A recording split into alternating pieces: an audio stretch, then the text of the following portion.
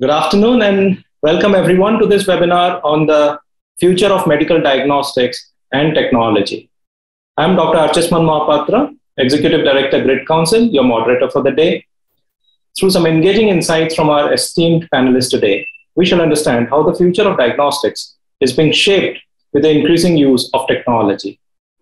As we see it, diagnostics are evolving rapidly with the use of technology, and of course, that goes hand in hand with the increasing needs for healthcare. Now, moving in the direction of automation powered by artificial intelligence and machine learning, and of course, data analytics, technology assures precision and pace, especially when we look to the future of diagnostics. The pandemic, of course, has proven that the demand for laboratory testing and diagnostics will keep on growing. In fact, the Indian diagnostic industry has been valued at an INR uh, of about 675 billions. And this has been projected to keep on increasing at the rate of 10% per annum for the next five years. The need of the hour, of course, is investment in the most competent technology and infrastructure that will aid pathologists in quicker and more accurate diagnosis. With the right technological investments and practices in place, diagnostics and healthcare will reach the projected transformations successfully, and that's what we hope for. To discuss this, road, this particular roadmap of technology transformation in diagnostics and the various driving factors around it, we are organizing RISE, an exclusive webinar brought to you by Worldline India. Uh, it's India's leading digital payments company and Economic Times Health World, that is ethealthworld.com. And I take the pleasure in introducing our panelists for the day. We have Dr. Harsh Mahajan. Sir is the founder, director, and chief radiologist, Mahajan Imaging. He is an eminent radiologist and a pioneer in the field of medical resonance imaging in India and abroad. Sir has received several accolades in the national and international space and plays pivotal roles in several committees of impact. Welcome, sir. Next, we have Mr. Dinesh Chauhan. He's the Chief Executive Officer Core Diagnostics. He's a microbiologist who has been in the leading business roles in the diagnostic industry for more than 25 years now. At Core Diagnostics, he is focusing on high-end, next-generation diagnostics that could be used for disease stratification and therapy selection. Welcome, sir. Next, we have uh, Mr. Saugat Chatterjee. He is the CEO of Apollo Preventive Health Check. He shines in multiple roles that of a healthcare strategist and a leadership mentor. He's a thought leader when it comes to the issues of the healthcare industry in India and beyond. And it's very easy to discover his writings on the internet. Welcome, sir. Pleasure. Pleasure, Dr. Mahabat. Next, we have Dr. Arjun Dang, CEO of the highly acclaimed Dr. Dang's lab in Delhi NCR. He's MD in pathology with advanced specialization in liver pathology from King's College Hospital, London. He has been widely recognized and awarded for innovations during the COVID 19 pandemic. He's also the winner of the Business World 40 Under 40 in healthcare. He, he handles strategy, operations, patient experience, and staff trainings at Dr. Dang's. Welcome, sir. And then we have Mr. Ramesh Narasimhan, CEO, Worldline India, which is a leader in the payments industry in India and globally. He has over 32 years of uh, leadership roles in several uh, businesses, and he has built businesses right from uh, scratch and then scaled up across verticals and geographies. Welcome, sir. Welcome. Thank you. So, once again, hearty welcome to all the panelists, and uh, let's get the discussion started. Uh, Mr. Ramesh, I'll come to you. Let's start this discussion with your inputs. As we know, the role of technology is rapidly evolving in the medical diagnostics industry. And uh, you have been very active in this uh, industry. So I'd request you to give an overview uh, on this, especially on how digitization is revolutionizing the consumer experience and behavior, and what growth triggers you see that exist that would drive the digital diagnostics to the next level. Thank you, Dr. Mahapatra, and, and uh, you know, uh, hello and welcome to my fellow panelists. Um, it's a great question because digitization is all pervasive in our lives today, um, whether it be uh, ordering things at home or uh, the education, uh, you know, you know, or even doctors' consultations, and you take everything, payments, everywhere. Digitization is the order of the day, um, and and uh, you know, the, the pandemic has ensured, uh, you know, many of the services that we are used to have now become digitized. And, you know, as a whole, we're also very comfortable with it and, and we're, you know, leveraging uh, as it drives a lot of efficiency. digitization does do that. Now, coming specifically to your question on what are the triggers that exist that can drive digital diagnostics to the next level, I see two triggers. And the first one I see essentially has to do with data standardization, right? I mean, you have, uh, you know, as I said, the rise in uh, digitization, digital diagnosis, prescriptions, is all revolutionizing, uh, you know, patient experience, you know, by providing very convenient and personalized approach, uh, regardless of location. I mean, could, during the pandemic, we've all done that. We've been there, we've done that, uh, you know, had a uh, discussion with doctor, diagnosing our, uh, you know, you know, whatever healthcare condition we have. Uh, and this has happened because of the stress on medical services because of COVID-19. Uh, we started using, you know, online channels to book appointments. We had, you know, diagnostics line come to our home, collect the sample, and then publish the results to us online. And also doctors prescribing medicines online, right? So now, when you have all these things, it's very important that for these services to scale up, and be interoperable, it is necessary to establish standards for a unified digital health system, right? And, and the government unveiled something called the National Digital Health Mission. It's a right step in the direction as we start to as we start, as India begins to leverage these things in a digital format, right? And, and, and you have to do essentially uh, standardize on formats that can simplify access to data across public, private, you know, hospitals, healthcare clinics, diagnostic centers, uh, you know, and, and with suitable data protocols and standardized formats, electronic health records can be migrated across various health touchpoints, right? Uh, ensuring that doctors have access to the right diagnostic data to be able to provide uh, timely and, and care to the patient. And, and if you look at it, India as a country, we've done some of these things at a massive scale. Uh, you know, the first one, if you look at it, is Aadhaar itself, which is the backbone of some of these things that we're talking about, right? Today, we can say that more than, uh, you know, 1.2 billion people have Aadhaar records in India, which we have leveraged uh, to set up a wonderful platform called CoWIN, uh, you know, and, and it works to deliver uh, the, you know, especially in the era of COVID pandemic, uh, you know, to deliver uh, reminders to you to take your uh, dose, to deliver, help you book an appointment, and to also, I was pleasantly surprised. I received a SMS saying you're ready for booster shot now, and actually went and took the booster uh, just last week. And you know, getting this platform ready is probably one of the biggest things that we could have done as a country, and the platform works, right? Brilliant. So this is one thing that we've done on uh, at scale, right? And then if you take uh, things like FASTag, today, you know, all of us when we drive down to work, we used to play multiple toll booths, money. Now you have a single standardized FASTag that you just drive through, right? So when you standardize, uh, you know, data standard is very important for us to build scale and make it efficient and, um, you know, make it easy for people to avail those services. Take payments itself. I mean, you know, credit cards and debit cards were the privilege of the people who had access to banking. Today you have UPI.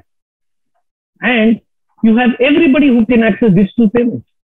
The person, I live in Mumbai, and the person who comes to deliver, you know, eggs and bread in the evening says, sir, UPI may pay do. You know, whatever name he calls it, Google Pay did them.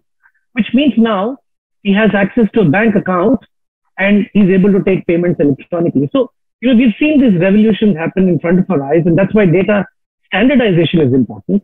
And along with it, especially uh, any data for that matter, you know, it's important that we secure this data, you know, and so data protection, data security, individuals' medical history, these are not to be, you know, publicly made available. It's supposed to be secure, uh, you know, stored, can be only accessed by, uh, you know, professionals who need to access it to, you know, like the healthcare professional or a doctor to be able to give uh, you know, the right diagnosis.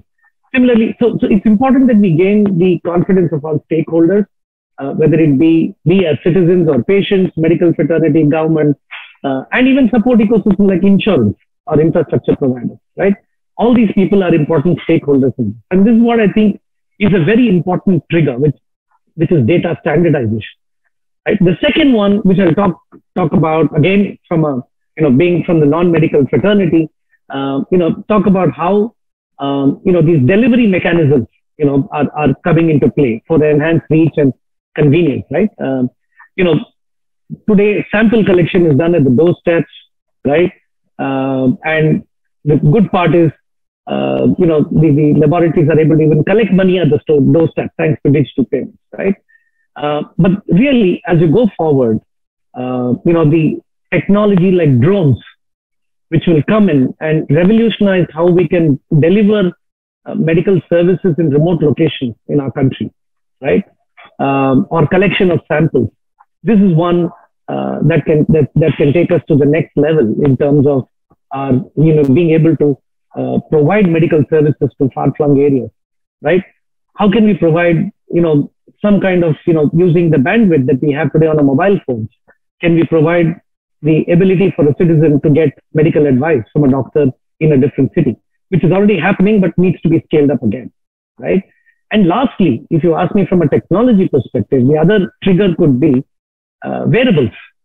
You know, today we all have watches that no longer are watches. The uh, watch is now, you know, um, uh, a device that collects a lot of data. Though a lot of us still wear watches as a jewelry piece or something like that to tell us the time, right? But watches or wearables is the next uh, thing that will, I think, be able to collect a lot of data. And with the advent of 5G um, and what is called as IoT, uh, you know, Internet of Things, it'll be, I think, this whole industry of collection of data, diagnosis, medical industry will one of be the will be one of the big industries to be uh, getting. Will will will see a benefit of you know data which is coming directly from um, you know the, the the patient and be able to provide much uh, you know greater um, you know much better access to uh, real time data to provide the right diagnostic. So at a very high level, that's how I look at it, Dr. Mahapatra. But there are experts on the panel who probably decode and tell you, um, you know, how to use the data and, and, and make the best use of it. Thank you, uh, Mr. Narasimhan. You touched upon several aspects of it, and of course, this triggers a very wide discussions now now on that we have to interact with the panelists. I would now go to uh, Dr. Mahajan. Sir, you have been in the industry for so many years. You have seen it evolve. Now, when the COVID 19 shocker came to us, we always thought that possibly maybe the system has the resilience or not to handle this kind of a uh, calamity. But of course, this is, the system has come out winning. So it has been resilient and at the same time has been has shown the potential for rapid scale up. As uh, uh, Mr. Narasimhan was also mentioning, we the COVID experience, the rapid scale up of the vaccination for COVID uh, has been exceptional we have not only ensured that tests are available, but tests have now penetrated. So contactless sort of uh, uh, sample collection and delivery to the patients. Now, of course, there are learnings coming out of it. So, what learnings do you see that have emerged from this pandemic experience, and especially that the diagnostic service providers should notice and take forward, and if needed, even further improve upon? Thank you very much, uh, for having me on this uh, panel.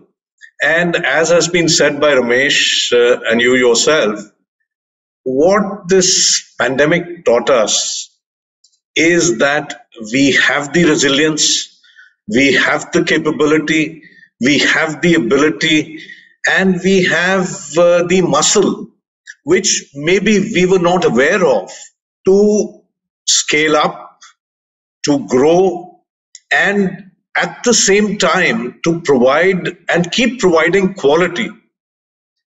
With this rapid scale up that happened also what the pandemic showed and showed very well something which people believed and we maybe in the industry and the government on its side believed could never happen that the public and the private sector can work hand in hand can strengthen each other to achieve the goals that the country needs, to achieve targets that the country very direly required. And uh, because we've been able to achieve this, is why we are in a relatively comfortable situation at the present point of time, where we saw that from a handful of labs capable of doing RT PCR testing, the gold standard. I mean, now I think even in the rural areas, they know that there's something like RT PCR, which actually molecular diagnostics was thought to be the very highest end of lab diagnosis. Today, there are thousands of labs in this country which are able to do it.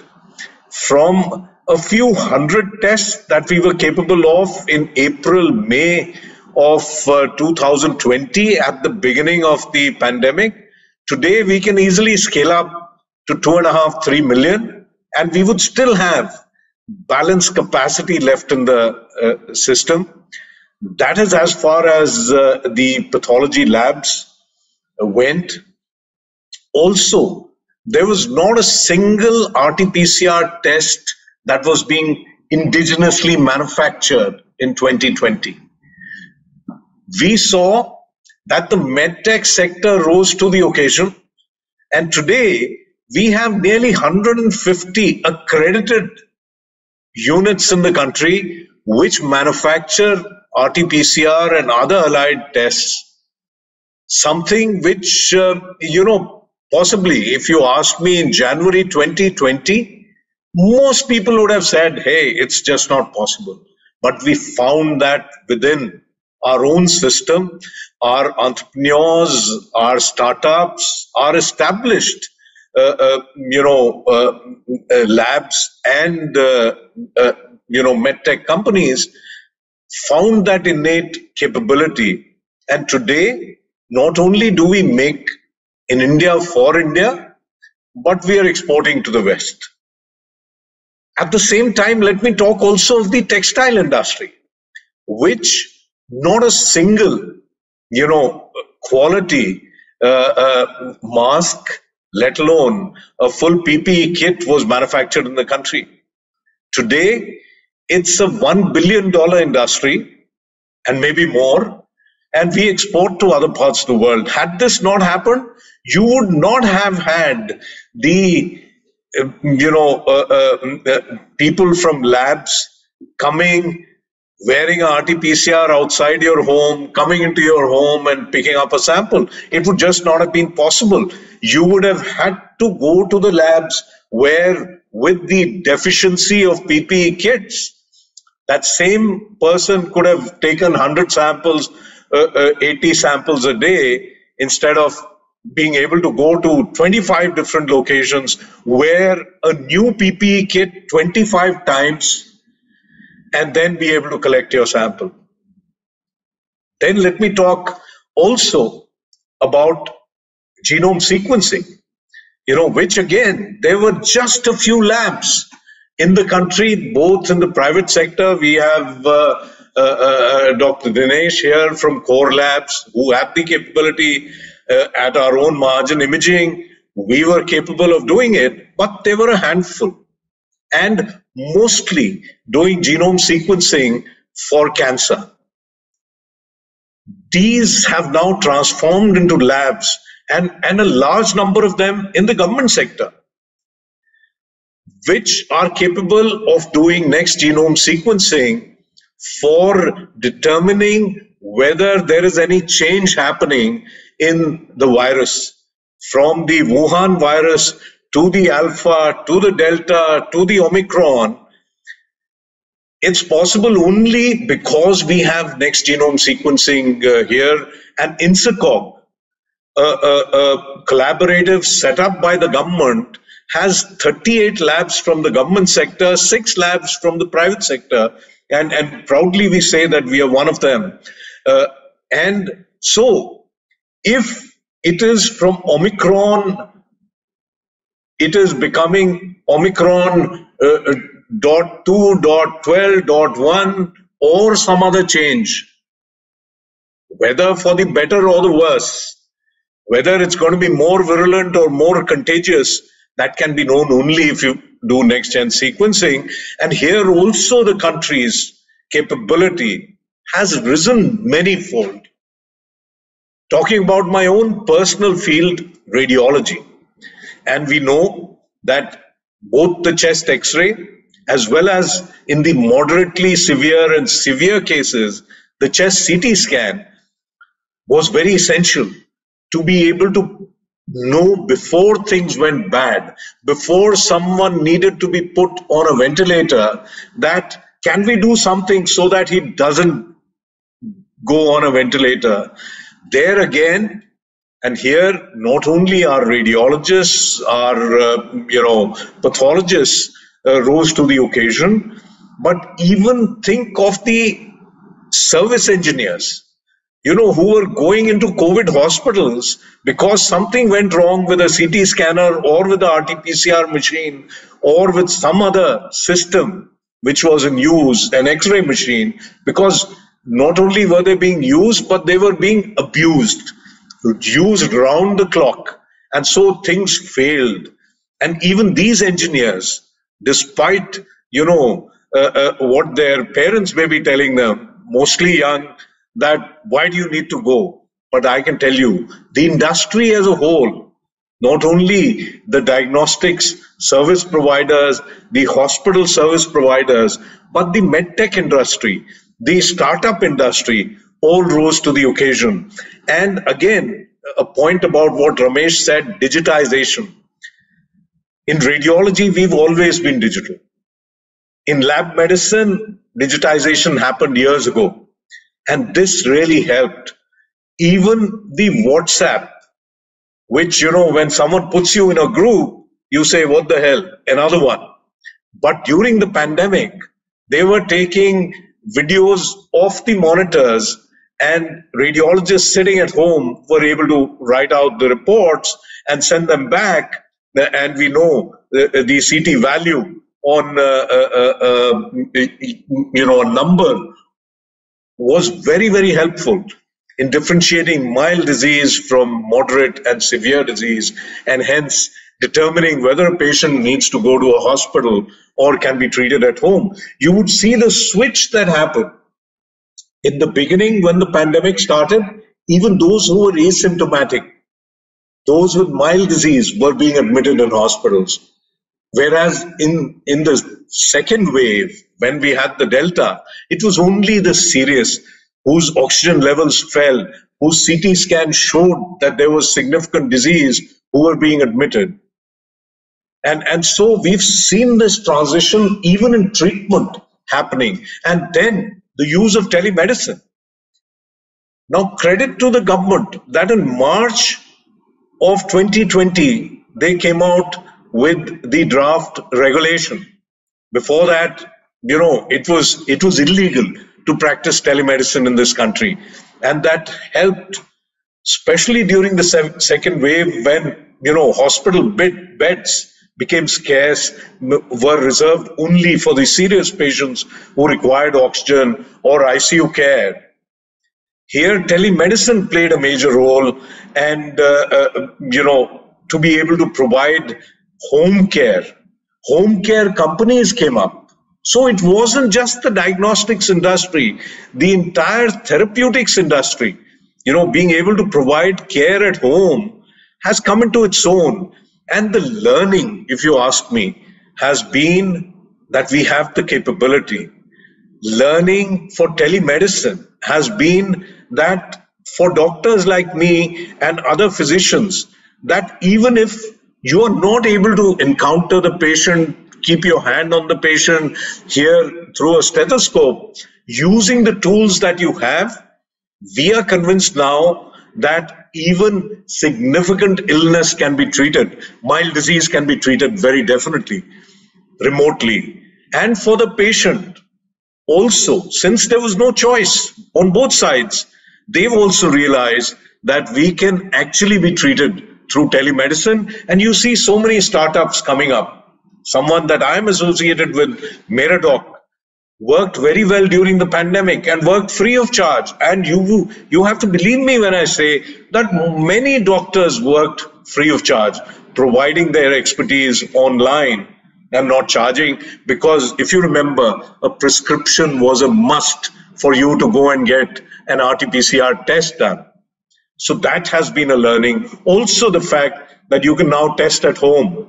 You know, the home kits that have come into their own may not be as accurate as uh, a RT-PCR test, but if someone has significant disease, has significant uh, uh, viral load, then these tests are helpful.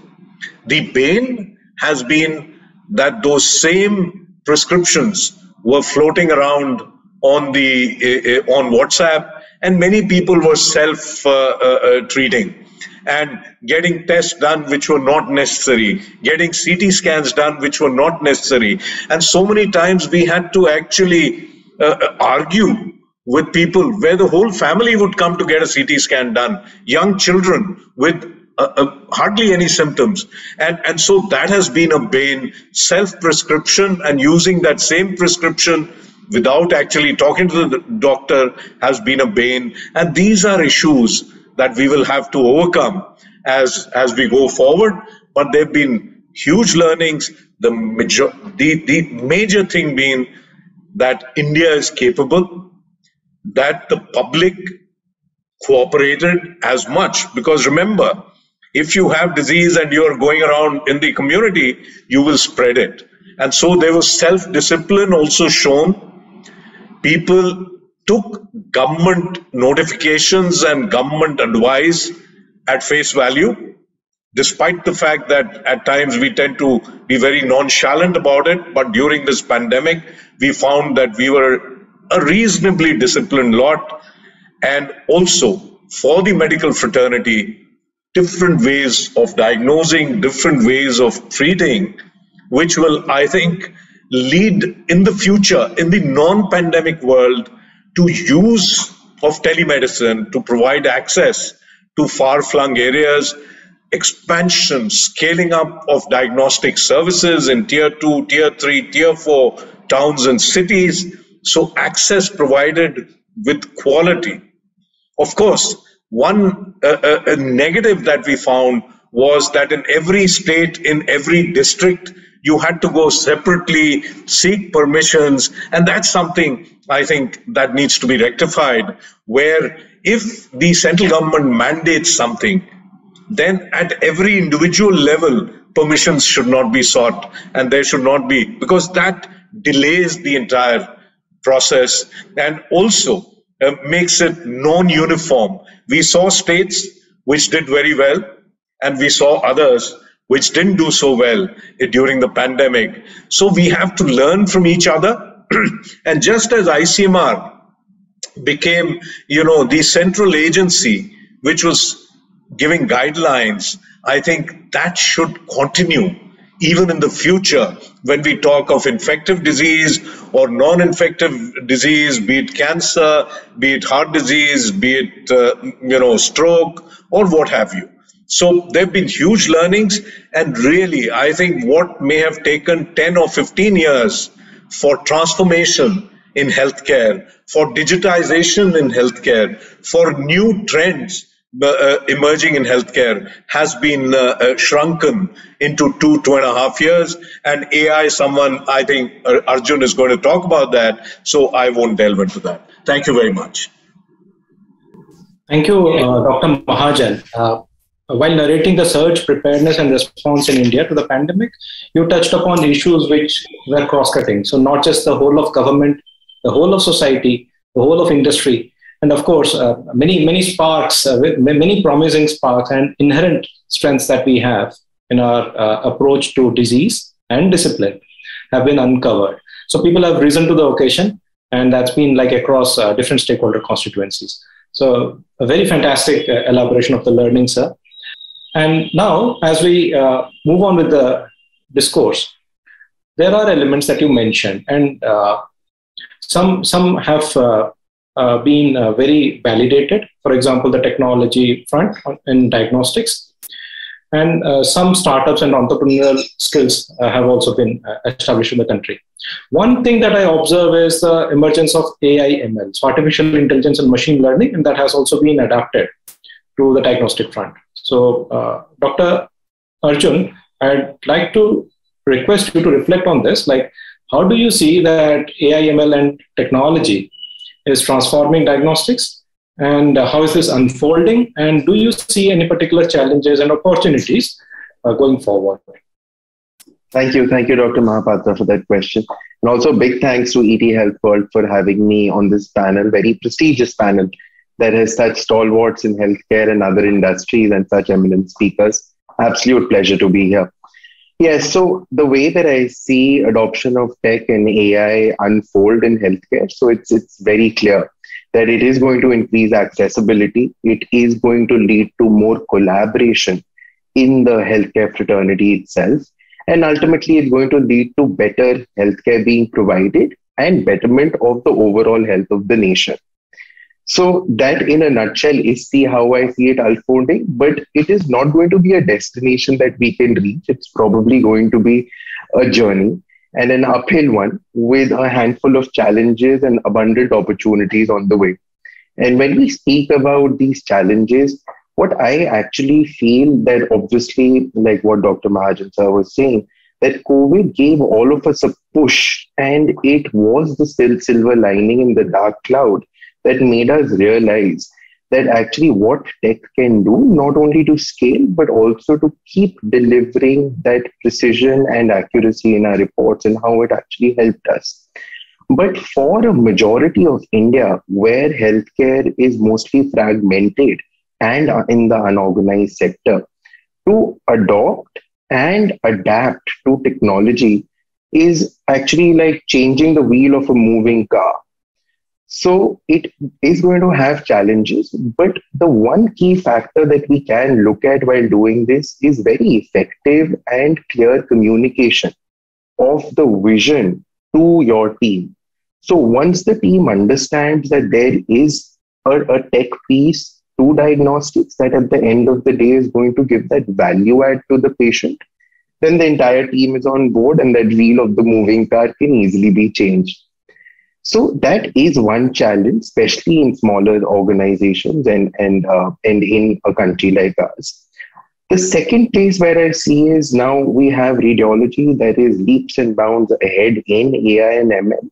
And also compared to pathology, we see a lot of more work being done in radiology. But I see one challenge there that for a doctor, a trained doctor who's an MBBS or an MD in radiology, for them actually to understand AI, although we, we do have a lot of people doing great work, but actually to carve out these kind of doctors from people who've done their education and training um, in the regular MD radiology field, I think that is a challenge. And to find doctors who are who are adept and understand both the tech side and the subject also, I think that is something that requires a lot of focus on training, education, skilling, and then also encouraging these doctors to further take that path and build teams to do something different and something niche. Again, another thing that I see that would be a challenge would be the huge amount of data that we have. The different formats, what, what we were also discussing earlier, and Mr. Ramesh had mentioned, was that this data being in different formats. So this data integrity that we need, this uniformity across different uh, different platforms or different formats that is there, to have them in a uniform way will be a challenge, not only because of the fact that they are in different formats, but also because of regulations, because of data regulations, data sharing, patient consent, etc. So that would again be another challenge that we have. And obviously, the third and the most obvious one would be the dependence on the machine itself. When we talk about tech and when we talk about AIML, like I still remember that during COVID, there was one late evening when suddenly WhatsApp wasn't turning on. And it was actually disastrous because in those 15, 20 minutes, I received some 10 SMSs that how is this going to work and that going to work. So dependency is huge. So, so at the end of the day, that empathy and trust between a doctor and a patient, when you actually hold the pulse of a patient and look look them in the eye, is something that should not go missing, and I pray that doesn't. and obviously coming to the opportunities now i think i think no time and words are enough to actually convey what a great opportunity it is for the sector and for professionals like us because for a uh, for a country like india and what has been spoken before also the scale and the last mile delivery that we need to reach there is no other way but to leverage tech to have have this in the rural rural areas also have accessible, quality, affordable healthcare for all, the only way is to reach through tech. Uh, another another one that uh, that I see here again, what uh, Mr. Ramesh had mentioned is wearables again. So with wearables, the opportunity is so huge to convert the sick care that we currently uh, run in or have the format of sick care where only unwell people are looked at and a majority of our healthcare spends is for sick people, it's more to well care. So that's with wearables where you monitor your health, where you have constant, constant know-how of how you're doing, how your trend is, how your body is doing, where you need the doctor's intervention. Also, only yesterday I read this uh, read this article where it was very interesting. But there's a company that is incentivizing your uh, good health in the metaverse, and they're giving you these tokens. And it was very interesting because it is it is actually flabbergasting that there is so much focus on well care, preventive care. So again, tech and the virtual world now plays a very important role in that. So, so keeping all this in mind, and again coming back to the use of AI and ML in diagnostics, I, I, feel that it is a wonderful opportunity, but it has to be looked at with a lens. It needs skilled and trained doctors who know the subject and also at the same time understand that piece of AI.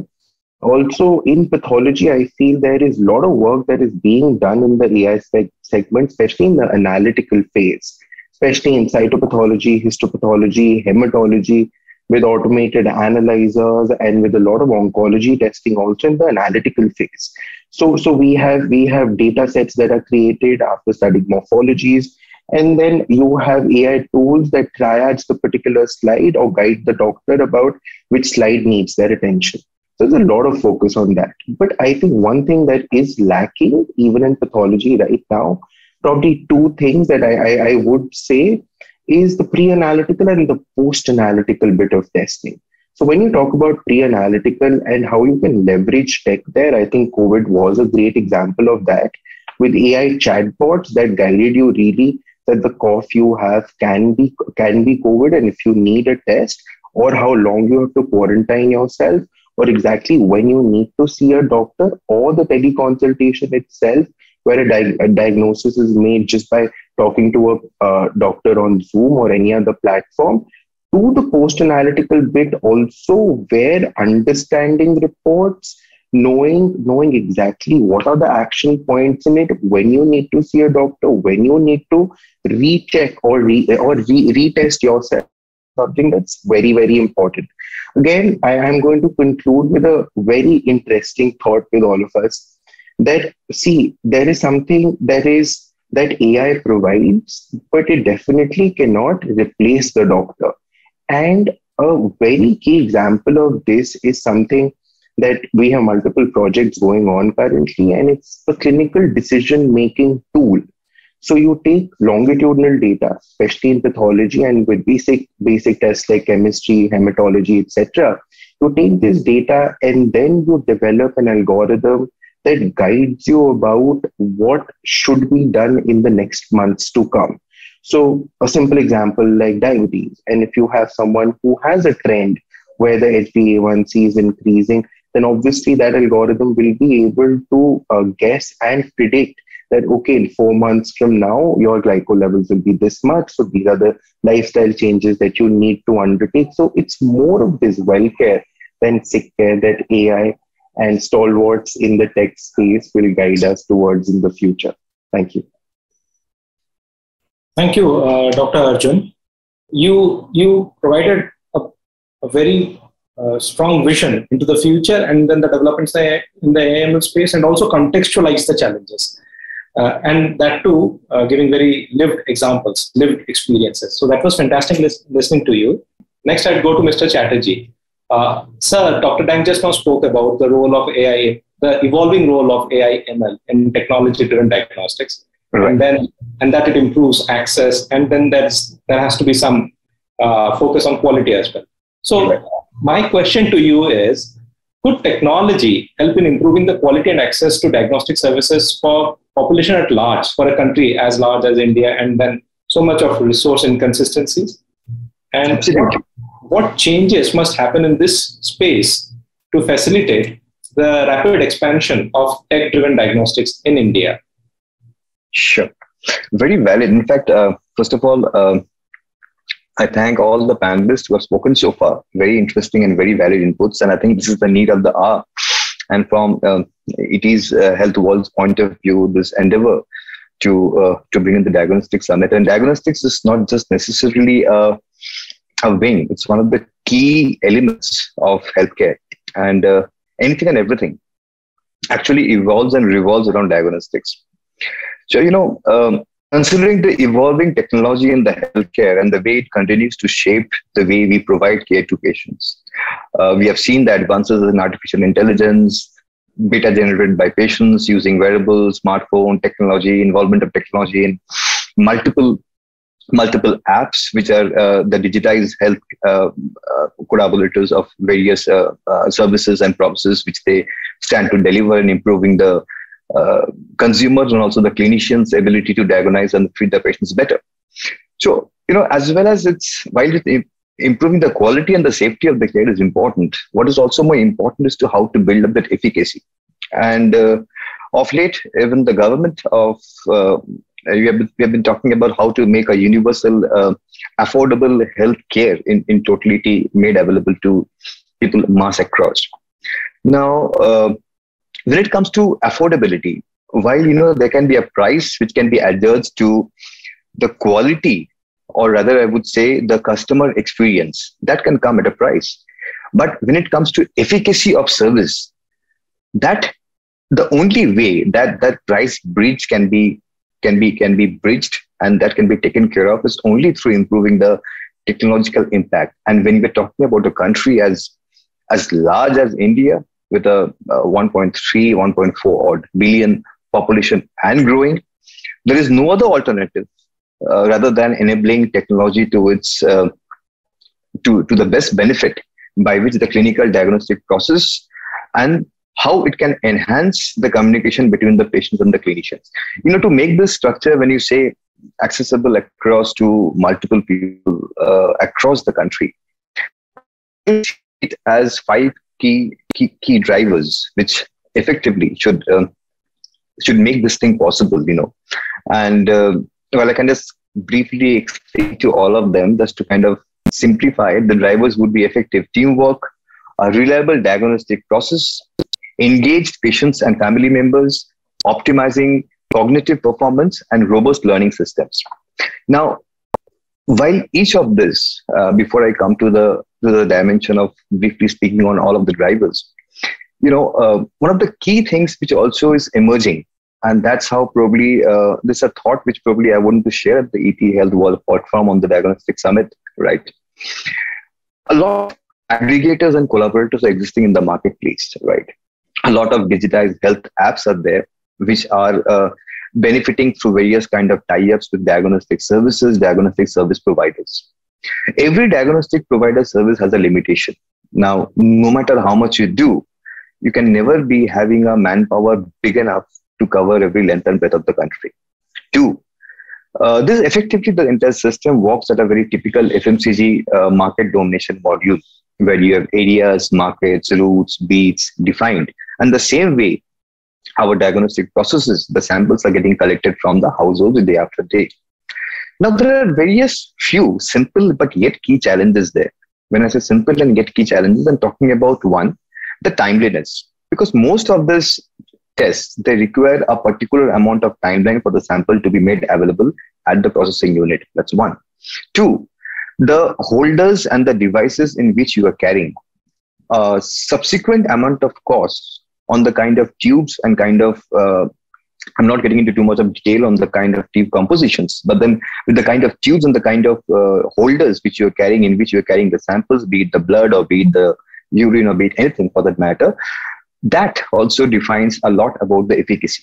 Third, and most importantly, uh, at any given point of time, there is an amount of a, I would say, restlessness or probably a consumer expectation where they want to see things on a real time basis you know and despite of the fact that how many number of sms a consumer received sample picked up sample dropped sample given. So while technology has done that bit but then the consumer equally wants to know what has happened to my sample and so on and so forth. So uh, the entire drive by which this mass effect can be brought in is where probably you know I would say that the diagnostics uh, industry in totality, they need to kind of come together to create some amount of unified uh, units which can be effectively used across organizations, whether it be it a X A or company or a company B or a company C or a company D, which to a great extent will reduce the cost, enhance the time, and increase the efficiency of the tests and collectively it can be a very path breaking uh, and then it, it left upon each to to see what value addition this each of the entities can offer to the customers. And that will be a different kind of a uh, healthy competition where it will be value addition driven rather than somebody worrying that you know whether my whether my uh, entity A will be a better uh, uh, efficacy uh, giver or probably entity B would be a better efficacy giver. So that's one dimension which I wanted to talk about before I come to the five drivers. Coming back, and before I start off the five drivers, you know, uh, diagnostics being the key part of healthcare, and uh, whether be it the in hospital, outside hospital, preventive, post preventive, educative, uh, affirmative, or cognitive. Diagnostic remains the, the cornerstone for uh, connecting each one of them in its own total rights. So, very importantly, uh, what it entails is an effective teamwork. And the teamwork refers to an enhanced level of skill and competitions, which are interdependent and also multidisciplinary, which also includes that the patients and families at the same point of time are equally competent or at least aware about the process that is happening. Similarly, the teams um, they can apply safety culture principles and practices which are focused on active engagement of patients, caregivers, uh, making explicit each team member's role and responsibilities in the diagnostic process, and therefore reinforcing this expectation through a throughout patient's oblique the clinical visit, which is the most vital part. In the entire process, one of these key challenges which we need to overcome for a mass level of uh, uh for a, uh, a re- outreach is the skill enhancement of both people and the service provider, It starts from the phlebotomist, lab technicians, uh, the, the, the, the, the, the clinicians, and effectively the report submitters. And when I say skill enhancement, I'm talking about largely about the kind of competencies which each one would need to hold. Uh, having said that, uh, this is an area where we are still struggling because uh, uh as we see budding diagnostic centers coming up across the country, particularly into the sub tier uh, one and the tier two markets, uh, a lot of skills often get compromised and effective control on the mechanisms to ensure that these diagnostic service providers are having the adequate skill level to service those patients. That is something which is a key process which can only help in ensuring a seamless and effective efficacy level maintained across in the services. My point number two was um, reliable diagnostic process. So when I say reliable diagnostic process, I'm talking about the process which describes the system of people and the processes and the environment in which achieving this accurate and timely communicated diagnosis possible. Because every place when we go and looking into a country once again as fragmented, as different like India, where probably you have um, varied climatic, humidity, uh, cultural, traffic, multiple things involved. I mean, uh, even we cannot demarcate things like a tier one and a tier two. I mean, probably a Hyderabad, Bangalore is a tier one, probably a Delhi and a Mumbai also also a tier one, and a, also a metro. But probably to make a movement of four kilometers in Hyderabad and Bangalore and the time consumed, besides making a movement in four kilometers in Delhi or Bangalore, uh, Delhi or Mumbai and a time consumed are two very different yardsticks. So therefore, it is not just about uh, the the categorization of the of the areas. It's also about getting into those micro detailing as to how to enhance those. So specifically, this also refers to a organizational structures which optimizes the diagnostic safety, clinical operations, and the workflow. So this actually supports the accurate and the timely clinical sample collection, information, and process. That is the only way to ensure that the accessibility to specialty and the expertise derived out of this uh, significant number of transitions are made useful for the consumer. So at the same point of time, uh, there has to be mechanisms for patients and their families to provide ongoing feedback about the diagnostic process. When I say process, this process is differentiated uh, from the word, you know, by which we say getting information, getting information as to selected, phlebotomist has reached your place, sample deposited. That's update. Uh, but to know about the process as to you know how the process is happening, what across across the sample management program is, how the diagnostic process, uh, even from the fact that you know pre and post, what have been the changes, smart report to make the patient's life much more easier, so that they don't hover behind uh, only reading behind the the low and the high uh, uh, mean and median marks uh, on the reports.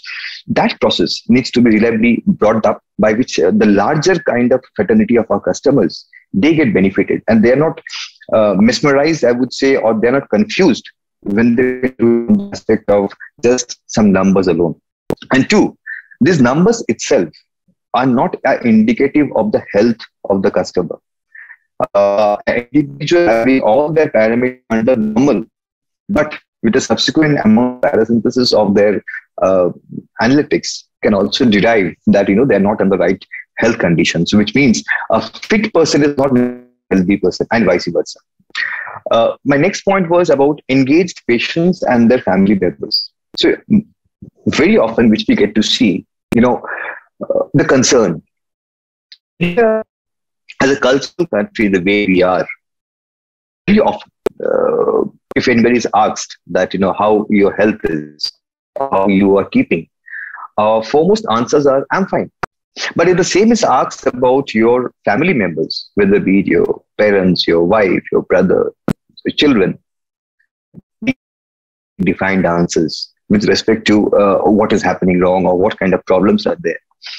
Uh, uh, highlighting this point is because we are uh, going by our Vasubhukam, which is not only just for our foreigners coming in. That's a cultural part where we think that you know ourselves are less important and the people around us are more important. That's why uh, the patients and the family members are actually much more concerned. So uh, this engaging part, engaging patients uh, which are empowered to participate in their care and participate decision making process about the goals which are related to the diagnosis pre and post care and the families can also engage at an organizational level through participation in various kind of uh, quality improvement teams wherein uh, somebody can suggest collectively over the point time be it from a from a block or a district or an area level that what are the challenges collectively they are facing because we have often seen this thing as an occurrence in that you know prevalent diseases occur across in a level, get level, where some significant amount of similar cases of diseases originate. So this would help us focus towards those centers of diagnostics drive to develop competencies in those kind of tests rather than having uh, inventory which is always not consumed. It's almost like uh, we know what the consumer wants and how we are going to handle this. Uh, the next point which I had was to talk about optimizing the cognitive performance. Now, when I say uh, this is actually supporting the process of the clinical reasoning, which is including the integration of knowledge, information derived from the patient or the family members, and the care team members. And this also includes the effective clinical decision decisions, the educative uh, and the foster clinical expertise. In this process, what happens uh, when we reach across to a mass level of population, there is a pre uh, it's almost kind of a very simple kind of a questionnaire which can also be brought in. And then we get an element of data to understand the state or the alertness or the probably the you know the the, the condition or the situations prevalent you know. Uh, a family x uh, who probably need for a diagnostic service for some kind of test to be done has an average, say, you might say, you know, average life uh, situation which is kind of healthy generally. It might have been a reason some happened of late, by the virtue of which, uh, after reflection for which this diagnosis and the diagnostic test are getting a very different kind of, uh, I would say, uh, uh, uh, irrelevant results uh, and uh, which are giving kind of impact factors which are kind of concerning that may not be the state of the family but that can be due to some kind of a situational results which is arising out of it. So therefore a pre and a post to come to, to compound to this helps in the process. Also once this information goes to the respective content or the decision maker uh, who is setting up a treatment plan for them it makes their life a lot easier to take the decision on basis of what information they have got what kind of uh, situations which has led to this and therefore uh, the, the, the, the next cognitive treatment advices are also at the same point of time much more structured. And most importantly is the robust learning systems. Uh, this is a structure which we need to create within our network of diagnostics all across in the country and this is not something which probably you know the the key diagnostic players in the country should hold on to themselves. There has to be a system of transferring knowledge uh, along with the team to support organizational and best practices learning to other diagnostic partners. Because when it comes to health, it's not about which is the best in health. It's about making sure that everybody has the best health way. And that too uh, once again you know uh, thanks to this platform who is bringing this entire entire diagnostics arm uh, under the one single umbrella. And therefore i'm taking this liberty to address that we should start thinking collectively in a very different manner where we don't just I am building up my organizational best practices just to make sure that I am the diagnostic service provider in the country. Uh, there are a lot many things which leads to uh, root cause analysis, diagnostic error methods, elimination of uh, uh, of uh, of performance. So all these things can be improved significantly through uh, measures of creating and retaining the transfer of knowledge, and from the learning improvement point of view. So we do on our uh, technological upgradations. We continue to enhance upon our reach and access. These five should make the core of what this uh, serviceability should offer as a part of its uh, offering. Uh, I mean, technology interventions can target a single driver, honestly speaking, but typically we have uh, a way greater impact and effectiveness when they address multiple drivers. For example, technology that increases patient, family, and the caregivers' access to clinical documentation enhances the quality and significantly the the the output. Thank you, uh, Mr. Chatterjee. When I posed this question to you, I was not actually imagining all those dimensions. Technology usually feels as if there is no human uh, face to it. But then what you talked about uh, is the humanization of technology driven diagnostics. So you touched upon uh, socio-cultural determinants, and you also touched upon a bit of information management, behavior management, and then moving everyone in a very concerted, coherent way. So that's how uh, possibly leadership has to look at it when it comes to uh, expanding technology for everyone in the diagnostic space. Thank you so much. Uh, I'd now move on to uh, Mr. Chauhan. So, taking cues from what has just been narrated by the previous speakers, what role do you see for technology leaders in building the digital diagnostics ecosystem in India and beyond. Thank you, Dr. Mohapatra and the eminent panel, panelists for being me here. And, and I'm really feeling very pride that, uh, you know, we are talking about the technology uh, role in diagnostics and technology implementation. Otherwise, if you look at uh, that a few years back, there was a lot of gap was there between the medicine or in the healthcare system and the technology. Both were running parallelly, but they were not actually meeting well. Because of COVID, actually we got to know that such a large opportunity if both sectors work together can actually transform the healthcare and which actually been proven now. And through that, and we being uh, completely into high-end diagnostics, if you look at digital pathology was there, but the kind of adoption was very poor.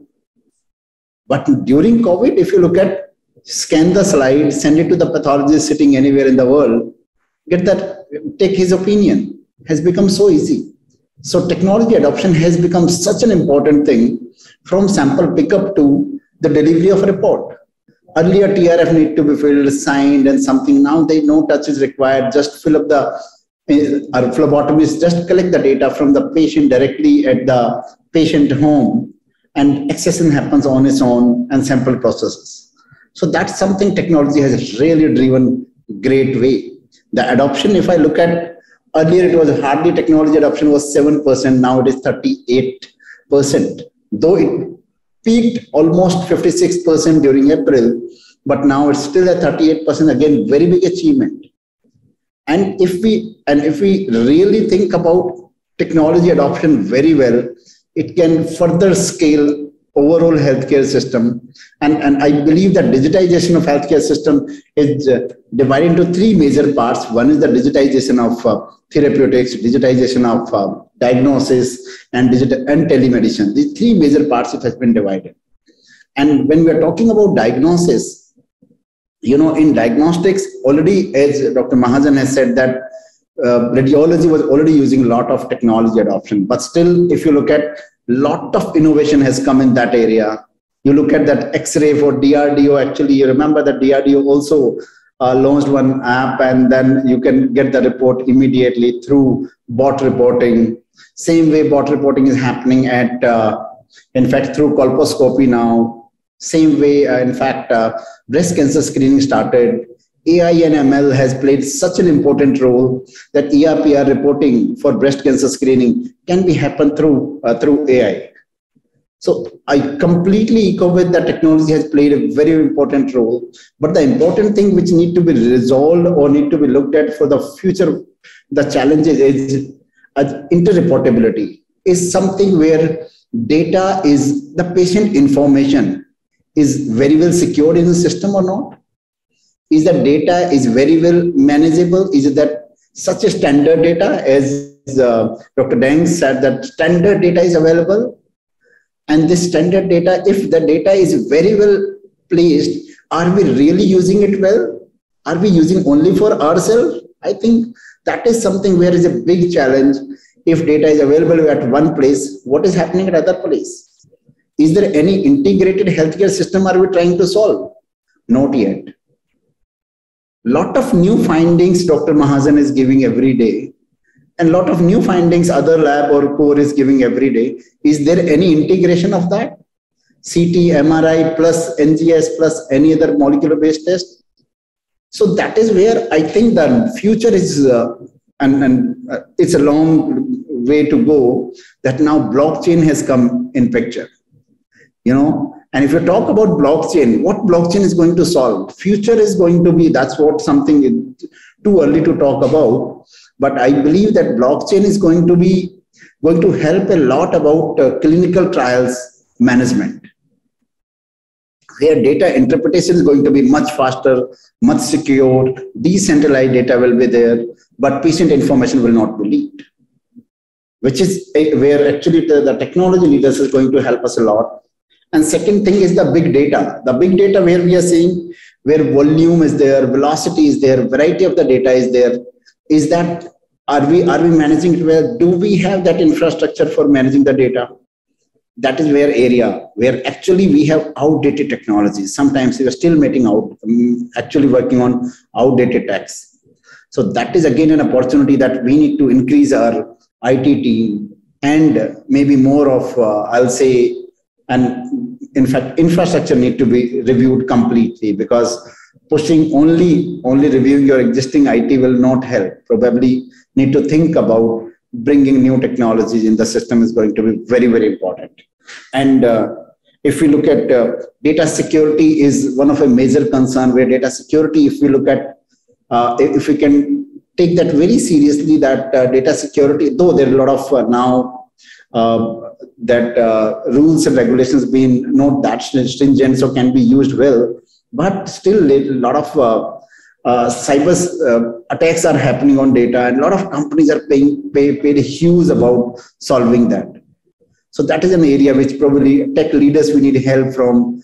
That if they can solve these challenges, will be will be extremely useful. And uh, these are the few major challenges which I look at that that data uh, or, or technology leaders are going to help. Otherwise, I would like to say that because of pandemic, we know that uh, human tendency is that we push ourselves best only in difficult situation, and which is we have we have proved. Like Dr. Mahajan said, I would like to tell you a small story. PCR was probably not aware. People were not aware what is PCR. Today, it has become the third most spoken word, spoken word actually. Okay, Coca-Cola, and then it has become PCR. Once it was a newspaper, only by mistake, one big uh, company has put up only uh, get your RT-PCR test done. That was only technology. Test name was not there. But still people know RT-PCR means COVID. No, that's not true. So technology has become so adopted. Okay, see in difficult situation, it was adopted so well. So it is a, so the learning is great opportunity for adoption of technology, but we have to scale it up. So during COVID, we have solved it. We have seriously solved it. We are such a competent country we are. But are we going to solve it for other diseases? So it is a next step. Let's take that advantage. Why we should get into the difficult situation? We are sitting on volcano of, uh, of diabetes, cancer, cervical cancer, breast cancer, many diseases.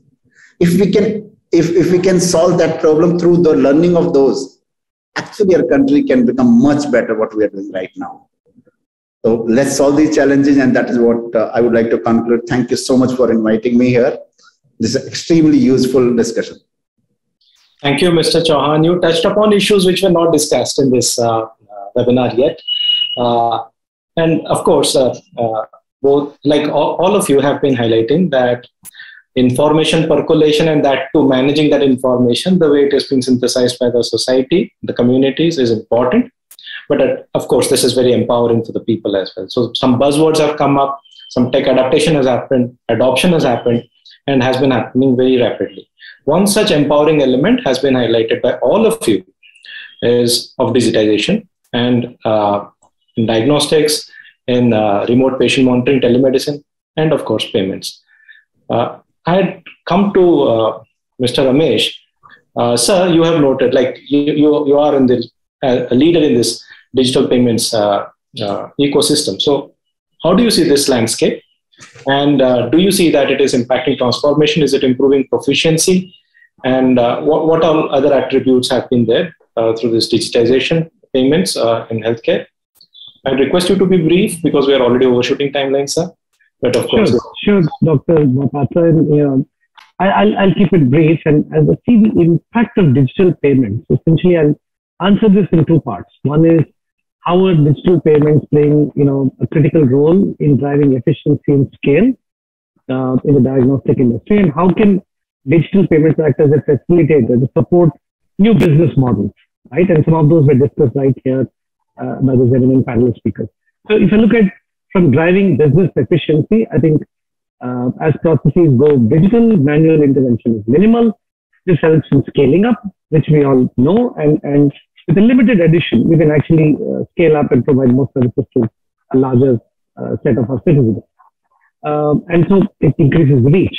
Now, what we can do is, is uh, during the pandemic, um, you know, and, and we've been very successful in providing many of the diagnostic labs with digital payments, the ability to collect a sample and also collect a payment because that's crucial. At the end of the day, you're offering a service, uh, you're a for-profit organization, you need to be able to collect your money so as to be able to provide the service. So we've worked with quite a few diagnostic centers, um, you know, transform their, uh, you know, operations, uh, provide a payment platform so that they could, you know, collect money from, from patients who had to, you know, do the test. Whether it be through a simple, uh, you know, text message that comes, you click on it and you make a payment, or if you're uh, going to some other test to the diagnostic center, you provide a POS terminal, a point of sale terminal, and you can swipe your card and pay for the same. Right? So both ways, whether it's a home visit or you are able to visit the center, they're able to make payments. The second one is, is, is again, support new business models. And, and I think Dr. Dang talked about it. It's not just about curing sick patients, but also the wellness part. You know, how do you, um, you know, start ensuring that the population as a whole, uh, using wearables and everything, remains more healthy uh, than sick. When it's sick, you know you have to go get a test done. So this is leading to new business models in the country. There are quite a few startups that Dr. Mahajan talked about who are working with people to keep them fit and keep them, you know, active, keep them uh, healthy. Um, and, and so those are new business models. And, and th- those are areas, again, which are digitally driven and hence digital payment collection becomes an important part of the entire ecosystem. So we are able to, uh, you know, provide, uh, you know, in both cases, whether it be whether sample collection and testing, uh, pay the, the ability to collect the payments digitally, as well as the new business models. Uh, you have the ability to price yourself correctly and be able to run a sustainable business and collect payments on time. Thank you, uh, uh, Mr. Ramesh, for bringing this business model and then startup comment into this digi- digitization discourse. Thank you so much, everyone, for your inputs. Before we conclude, I, I take up this opportunity for one short concluding statement from each of you. Let's start with Dr. Mahajan. Sir, your remark. Uh, thank you very much. I would say that uh, India is poised uh, to become digital uh, with both the private as well as the government sector, uh, you know, jockeying and also working together. And I think the universal health identity that's going to get created is uh, only going to make this easier and transportability of data across these lines will make uh, uh, life much, much easier, both for the patients as well as for doctors. Thank you, sir. Dr. Dang. So, um, technology is critical, and uh, moving forward, um, if we don't really embrace it, we will perish. So, being doctors, we should try and understand it, embrace it, and adopt it into our daily life. Because at the end of the day for the for the larger cause of the nation it is the only way that we will deliver high impact uh, healthcare to the country. Yes uh, mr chatterjee your concluding remark. So all i would say that you know as we continue this journey of enhancement upgradation and uh, expansion of our uh, healthcare services and most importantly of our diagnostics vertical and be a significant contributor into our Atmanirbhar Bharat, which is the Bharat for well-being. Uh, the focus should be maintained on ensuring that technology drives the diagnostics quality, improving the connection in between the clinicians and patients, and in order to provide a safe, effective, and efficient care, which should be affordable without compromising upon the efficacy. Mr. Dinesh. So, uh, bringing data together to create better impact, better quality of results, and and in fact more coverage to the patient, providing all the facilities, and in fact looking at other disease segment also to solve the problem of the nation. Thank you, uh, Mr. Dinesh. Mr. Ramesh, your concluding remark, please. Yes, uh, thank you. Uh, I think digitization is unstoppable. Um, creating platforms that can leverage this digitization to be able to provide services at the massive scale that our country requires is something which is absolutely um, you know, required and, and you know, mandatory. And third, uh, from a private sector perspective, monetization of these platforms that they're able to create and being able to collect payments for the same is equally crucial. Thank you so much, our esteemed panelists. Uh, it's been a very wonderful one hour, very enlightening, very insightful, and we have touched upon several issues. I'd also like to thank our audience for being with us on this. And once again, uh, I take this opportunity to thank one and all, and especially Worldline and ethealthworld.com for bringing this to us. Thank you so much. Thank you so much. Thank you. Thank you, everyone. Bye bye.